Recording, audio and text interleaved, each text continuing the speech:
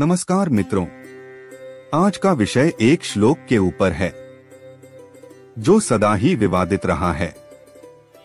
वह श्लोक है, अहिंसा परमो धर्म धर्म हिंसा तथैव च।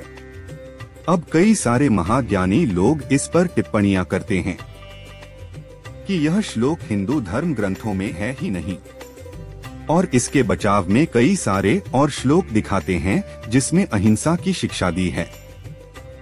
तो चलिए देखते हैं वह श्लोक कौन से हैं।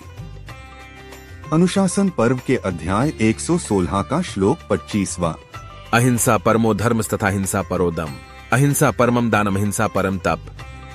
अर्थात अहिंसा परम धर्म है अहिंसा परम संयम है अहिंसा परम दान है और अहिंसा परम तप है। फिर आगे।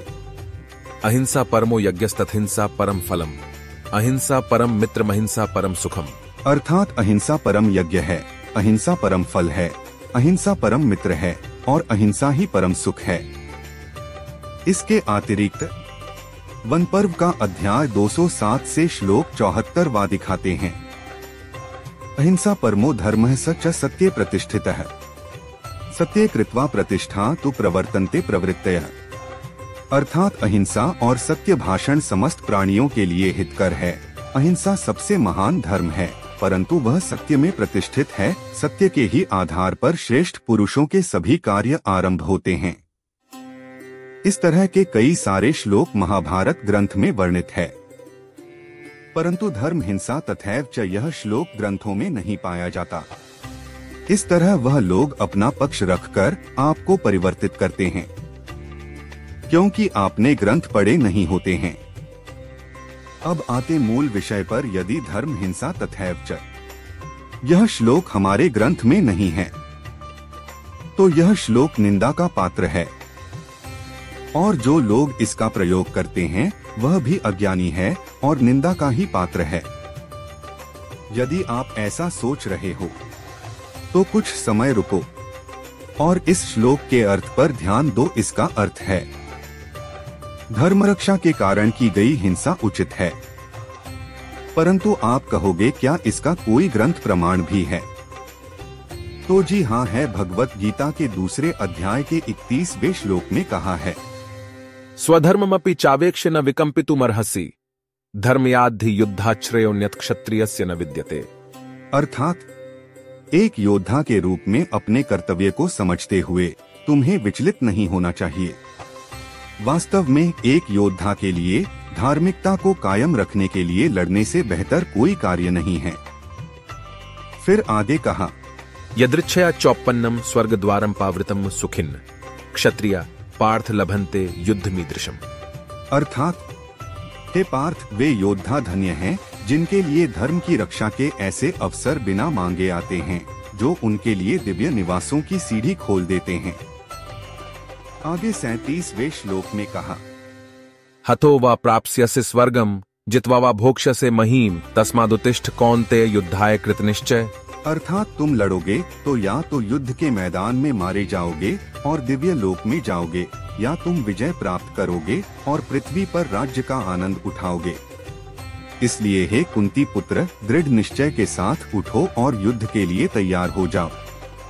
फिर अड़तीसवे श्लोक में कहा सुख दुखे समय कृत्वा लाभा लाभो जया जयो तथो युद्धाय युजस्व नैवम पापम वापस्यसी। अर्थात जय पराजय लाभानी और सुख दुख को समान समझकर उसके बाद युद्ध के लिए तैयार हो जा। इस प्रकार युद्ध करने से तू पाप को नहीं प्राप्त होगा। इसके अतिरिक्त भगवान कृष्ण स्वयं चतुर्थ अध्याय के सातवें और आठवें श्लोक में कहते हैं।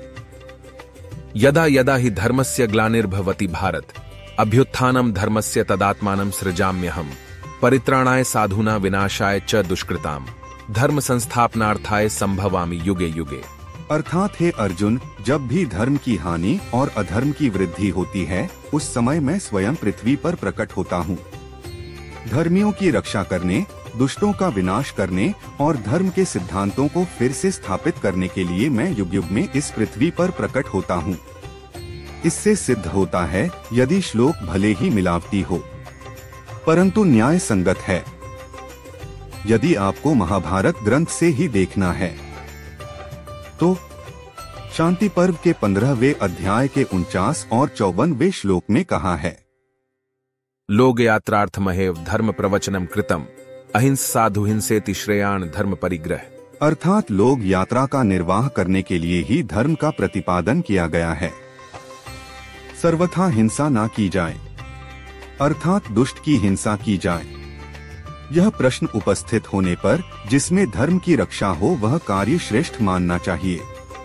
और चौवनवे श्लोक में कहा माँ चते निग्नतः शत्रुण मन्युर्भवतु पार्थिव।